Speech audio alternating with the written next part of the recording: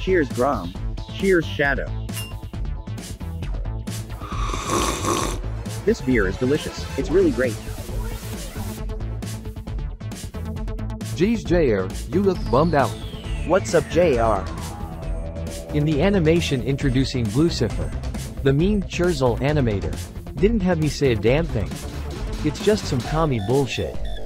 I'm so sorry, JR. I should have had you say something. I only realized after I finished. I'm really sorry. I feel so let down.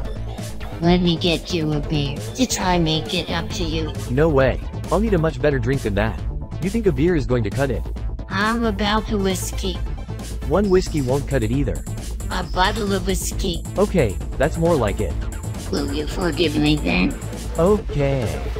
But don't do it again. I promise I won't. Okay guys, let's get hammered.